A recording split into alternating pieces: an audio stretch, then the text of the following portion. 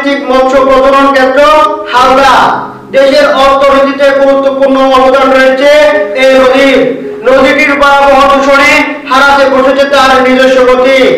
হালদা নিয়ে আজ দেখুন রাউজান টিভির অনুসন্ধানী ক্যামেরার প্রথম পর্ব, হালদার ভয়াবহ তখন দুপুর সাড়ে বারোটা, মধুনাঘাট ব্রিজ এলাকায় চোখে পড়ল কাক চিলের আনাগুনা।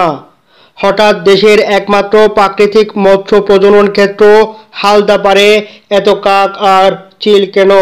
এমন প্রশ্ন আপনার মনেও জাগতে পারে? এই কৌতূহলবশত হালদার পারে ছুটে যাওয়া। সেখানে গিয়ে দেখা যায় মধুনাঘাট হাটহাজারি অংশে নজুমিয়া হাটে ব্যবসায়ীদের অত্যাচারের দৃশ্য। বাজারে জবই করা পশু পাখির নারী ভুঁড়ি আর মৃত মুরগি ফেলা হয়েছে হালদা পাড়ে এসব খাবারের জন্যই ছুটে আসে হাজার হাজার কাক আর চিল। এমন দৃশ্য প্রায় প্রতিদিনের। হালদায় নিক্ষেপ ছাড়া আর কোনো বিকল্প নেই বলে জানালেন এক মুরগি ব্যবসায়ী। শুনুন তার মুখে। এগুলো তো আমরা আর পালার জায়গা নেই এখানে তো ফেলতে হবে। নদীতে ফেললে তো আমরা সমস্যা না আরও এখানে তো ময়লা টয়লা এখানে রাখলে তো আরও অসুবিধা হবে। ওইখানে ফেললে তো- হালদার জীববৈচিত্র্য তো হুমকির মধ্যে পড়ছে। হালদা তো আমাদের দেশের সম্পদ সে বিষয়ে আপনার বক্তব্য কি? সম্পদ অবশ্যই এটা তো ঠিক আছে আপনার কথা ঠিক আছে। কিন্তু আমরা তো ফেলার ওইখানে বিকল্প তো নেই ওইখান তো ফেলতে হবে এবার কথা বলতে চাই হালদাপাড়ের নজমিয়া হাটের আরেক মাংস বিক্রেতার সাথে। তিনি কি বলেন তার মুখেই শুনুন। ময়লা ফেলা হচ্ছে কেন? সবাই এত গেল হালদাপাড়ের নজমিয়া হাটের নদী দূষণের দৃশ্য। চলুন এবার দেখা যাক বিভিন্ন কাল হয়ে হালদা নদীতে পতিত হওয়া বিষাক্ত বর্জ্যের চিত্র। এটি কৃষ্ণকাল এই কালটিও হাটহাজারি অংশে। এই কালের বিষাক্ত বর্জ্য কন্দকিয়া কাল হয়ে পড়ে হালদা নদীতে।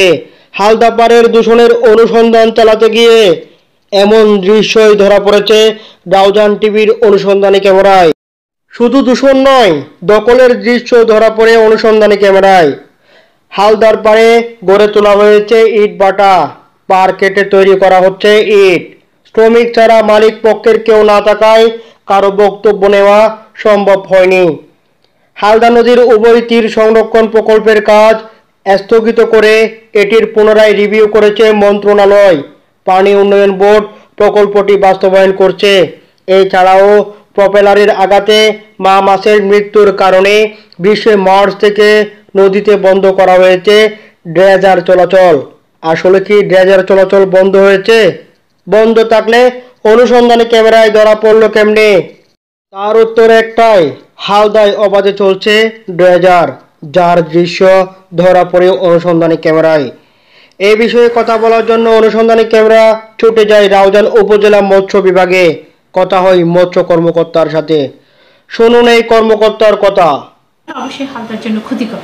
যান্ত্রিক নৌজাল, আমরা সবসময় বলি যে হালদার যেন যান্ত্রিক নৌজাল না চলে, টল ট্রলারগুলো না চলে, বালুর ড্রাজারগুলো না চলে। এই ব্যাপারে আমাদের এনও স্যারও খুব, আমাদের এমপি মহোদয় তো আছেনই, উনি সবসময় হালদা নিয়ে আমাদেরকে বলেন, আমরা যেন এগুলো নিয়ে ইয়ে করি। আর আমাদের ইএনও স্যারও কিন্তু আমাদেরকে সবসময় যে নির্দেশ দেয়, আপনার এগুলি যেন ইঞ্জিন চালিত বোট যেন হালদায় না চলে। হালদা শুধু সবার সম্পদ, এটা এগিয়ে আসতে, সবাইকে এগিয়ে আসতে হবে এটা রক্ষার জন্য। সবাইকে সচেতন হালদার কিছু তথ্য জানিয়ে রাখি। বাংলাদেশের মৎস্য কণিকেত, ছোট একটি নদীর নাম হালদা।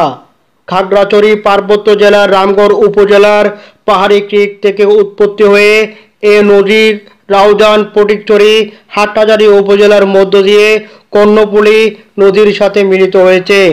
অপার জীববৈচিত্র্যময় ও মৎস্য সম্পদের ভরপুর এই নদী জাতীয় অর্থনীতিতে ব্যাপক অবদান রেখে আসছে যুগ যুগান্তর।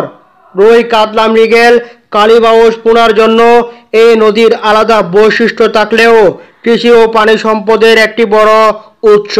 জাতীয় গুরুত্বপূর্ণ যে কয়েকটি প্রাকৃতিক সম্পদ বাংলাদেশে রয়েছে, তার মধ্যে হালদা অন্যতম। হালদার ভয়াবহ দূষণের কারণে প্রতি বছর মাছের ডিম ছাড়ার পরিমাণ উল্লেখযোগ্য হারে কমে যাচ্ছে। এতে হালদা পাড়ের ডিম সংগ্রহকারী ও জেলেদের ব্যাপক আর্থিক ক্ষতির সাথে যুগ যুগ ধরে তাদের পূর্বসূরিদের ঐতিহ্যবাহী পেশা বন্ধ হয়ে যাওয়ার অজানা আশঙ্কায় দিন যাপন করছে। বিশেষায়িত এই নদীর সম্পদ রক্ষা, দূষণ দখলমুক্ত করতে আইনের কঠোর প্রয়োগ দরকার। নদীর পানি দূষণকারীদের চিহ্নিত করে আইনের আওতায় আনার দাবি সর্বমহলের। এই ব্যাপারে আইনের যথাযথ প্রয়োগ করতে বিলম্ব করা হলে দেশের বড় ক্ষতি হবে।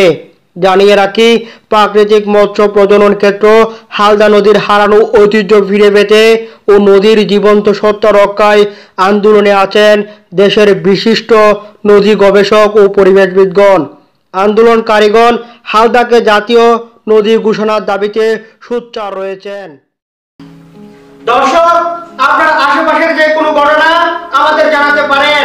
আমাদের জানানোর মাধ্যম দুটি ফেসবুক মেসেজ ইমেল পরবর্তী পর্ব দেখার আমন্ত্রণ জানিয়ে শেষ করছি রাজার টিভির অনুসন্ধানী ক্যামেরার প্রথম পর্ব।